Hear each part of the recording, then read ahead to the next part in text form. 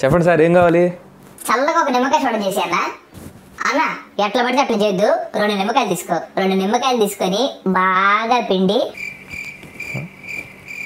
కొంచెం ఏంటి? కొంచెం అంటే కొంచెం ఉప్పు అట్లా అట్లా జల్లి రెండే రెండు ఐస్ ముక్కలు అటొకటి ఇటొకటి వేసి స్పూన్ తాళ తిప్పేసి టకటక తాగి పెడతా. సరే సరే ఆగండి. చేసిస్తాను. తీసుకోండి. అబ్బా ఎంత చల్లగా ఉందన్నా. బాగుందన్నా చాలా బాగుంది. ఇదిగో పది రూపాయలు.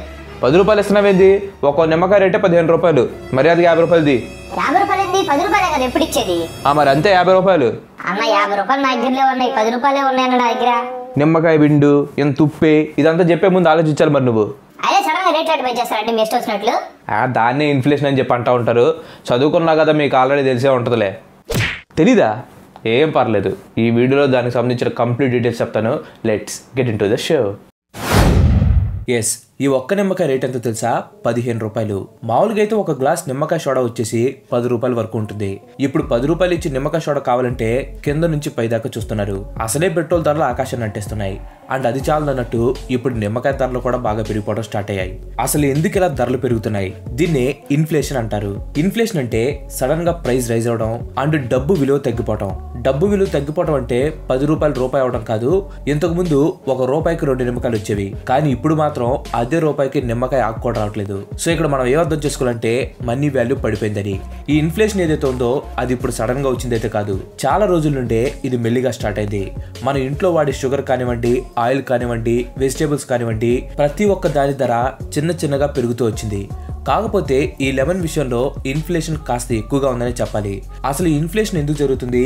లాంగ్ టర్మ్లో ఇన్ఫ్లేషన్ని కంట్రోల్ చేయగలమా లేదనేది ఇప్పుడు చూద్దాం. ఈ ఇన్ఫ్లేషన్ ఏదైతే ఉందో అది ఫ్యూయల్తో డైరెక్ట్గా లింక్ అయి ఉంటుంది. సో ఈ మాట అన్న తర్వాత మీరు అనుకోవచ్చు అసలు నా దగ్గర వెహికలే లేదు. అలాంటప్పుడు నాకు ఫ్యూయల్ ఎందుకు అవసరం అవుతుంది? వందైనా కానీ రెండు వందలైనా కానీ నాకు వచ్చిన నష్టం ఏంటని చెప్పి చాలా మంది అనుకుంటుంటారు. కానీ వెహికల్ ఉన్నా లేకపోయినా పెరిగే ఫ్యూయల్ రేట్స్ ఏవైతే ఉంటాయో అవి ఖచ్చితంగా మీ పైన ఎఫెక్ట్ చూపిస్తాయి. మీకు వెహికల్ లేకపోవచ్చు కానీ కానీ మీరు మార్కెట్లో కొన్ని వెజిటేబుల్స్ ఏవైతే ఉంటాయో వాటికి ఖచ్చితంగా వెహికల్ అవసరం. ఎందుకంటే ఆ మార్కెట్లో కొన్ని వెజిటేబుల్స్ అన్నిటి ట్రాన్స్పోర్ట్ చేయాలంటే ఖచ్చితంగా వెహికల్ అనేది కావాలి. అండ్ మీరు ఆర్డర్ చేసే జొమాటో అండ్ స్విగ్గీ ఉంటాయి. అవి మీకు ఫుడ్ని ఎలా డెలివరీ చేస్తాయి? వెహికల్స్ తోనే కదా? సో ఎలా చూసుకున్నా కానీ ఫ్యూయల్ రేట్ పెరిగితే ఖచ్చితంగా మీ మీద ఎఫెక్ట్ చూపిస్తుంది. ఈ ఇన్ఫ్లేషన్ అనేది టూ టైప్స్లో ఉంటుంది. ఫస్ట్ ఇన్ఫ్లేషన్ టైప్లో ఒక ప్రోడక్ట్కి డిమాండ్ బాగా ఎక్కువగా ఉంటుంది. అండ్ మీ దగ్గర డబ్బులు కూడా ఉంటాయి. కానీ ఆ పర్టికులర్ ప్రోడక్ట్ ఏదైతే ఉంటుందో అది చాలా తక్కువ మొత్తంలోనే మనకు దొరుకుతుంది. ఫర్ ఎగ్జాంపుల్ చెప్పుకుంటే ఆల్ఫాన్సో మ్యాంగోస్ ఇవి చాలా అంటే చాలా తక్కువగా ప్రొడ్యూస్ అవుతాయి. సో వీటి కాస్ట్ కూడా బాగా ఎక్కువగా ఉంటుంది. సో ఎవరి దగ్గర అయితే ఎక్కువ డబ్బులు ఉంటాయో వాళ్ళు ఈ ఫ్రూట్ని కొనుక్కుంటూ ఉంటారు. ఈ టైప్లో ఉండే ఇన్ఫ్లేషన్ని డిమాండ్ పుల్ ఇన్ఫ్లేషన్ అని అంటారు. ఎందుకంటే ఇక్కడ ఈ మ్యాంగోస్కి బాగా డిమాండ్ ఉంది. కాబట్టి దీని ప్రైస్ కూడా ఎక్కువగా ఉంటుంది. ఇంకా సెకండ్ ఇన్ఫ్లేషన్ దగ్గరికి వద్దాం. ఈ ఇన్ఫ్లేషన్లో ప్రోడక్ట్ యొక్క డిమాండ్ అండ్ ప్రొడక్షన్ ఎప్పుడు ఒకేలాగా ఉంటాయి. కానీ production labour and raw materials వల్ల ఫైనల్ ప్రోడక్ట్ కాస్ట్ అనేది బాగా పెరిగిపోతుంది.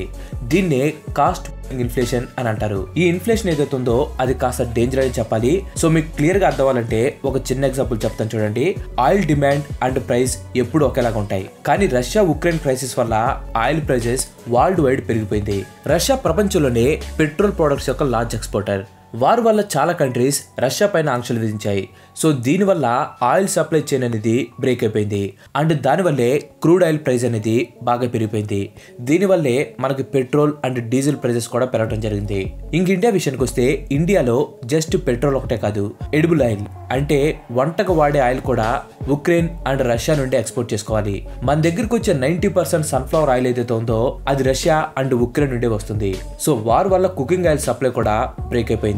సో దీనివల్లే కుకింగ్ ఆయిల్ రేట్ కూడా బాగా పెరిగిపోయింది. కుకింగ్ ఆయిల్ రేట్ పెరిగితే ఆటోమేటిక్గా ఫుడ్ కాస్ట్ కూడా పెరిగిపోతుంది. ఏంట్రా బాబు నిమ్మకాయ రసం గురించి చెప్పకుండా ఏదేదో సో చెప్తున్నాం అనుకుంటున్నారా? ఈ ఇన్ఫ్లేషన్ అనే బుక్లో ప్రెసెంట్ నిమ్మకాయల ప్రైస్ అనేది జస్ట్ ఒక చాప్టర్ మాత్రమే. సరే ఎటు నిమ్మకాయల దగ్గరికి వచ్చాం కాబట్టి నిమ్మకాయలు ఎందుకు ఇంత కాస్ట్ అయిందో ఇప్పుడు చూద్దాం. Last year monsoon season normal గానే వచ్చింది. కానీ సెప్టెంబర్ అండ్ అక్టోబర్లో మాత్రం వర్షాలు బాగా ఎక్కువగా కురిశాయి. దీనివల్ల నిమ్మకాయల పంట పైన బాగా ఎఫెక్ట్ పడింది. ఫ్యూయల్ అంటే ఇండియా ఇంపోర్ట్ చేసుకుంటుంది కానీ లెమన్ని మాత్రం ఇండియా ఇంపోర్ట్ చేసుకోదు. ఎందుకంటే ఇండియా లెమన్ని సొంతంగా పండించుకుంటుంది. ప్రపంచంలో సెవెంటీన్ పర్సెంట్ లెమన్ ఇండియాలోనే పండుతుంది. అండ్ మన ఇండియాలో లెమన్స్ ఎక్కువ శాతం ఆంధ్రప్రదేశ్లో పండుతాయి. అందుకనే తెలంగాణతో కంపేర్ చేసుకుంటే ఆంధ్రప్రదేశ్లో ఎప్పటికీ చాలా మంది నిమ్మకాయ సోడా తాగుతున్నారు. అండ్ ఏపీలోనే కాస్త రేట్లు కూడా తక్కువగా ఉన్నాయి. మన ఇండియా సంవత్సరానికి దాదాపుగా ముప్పై ఏడు పాయింట్ ఒకటి ఏడు లక్షల టన్నుల నిమ్మకాయల్ని పండిస్తూ ఉంటుంది. సో ఈ నెంబర్స్ చూసి మీరే అర్థం చేసుకోవచ్చు. ఇండియాలో నిమ్మకాయలకి ఎలాంటి ఇబ్బంది లేదని. కానీ climate change and heavy rains వల్ల సప్లైలో బ్రేక్ వచ్చింది. అసలే నిమ్మకాయల పంట తక్కువగా వచ్చింది. అండ్ దానికి తోడుగా ఈ నిమ్మకాయల్ని ట్రాన్స్పోర్ట్ చేయాలి. వీటిని ట్రాన్స్పోర్ట్ చేయాలంటే మనకి ఫ్యూయల్ కావాలి. అండ్ ఫ్యూయల్ రేట్స్ ఇప్పుడు చాలా పెరిగిపోయాయి. సో దీనివల్ల ఏమవుతుంది? అక్కడికి ట్రాన్స్పోర్ట్ చేసేటప్పుడు నిమ్మకాయల రేట్ అనేది ఆటోమేటిక్గా పెరిగిపోతుంది.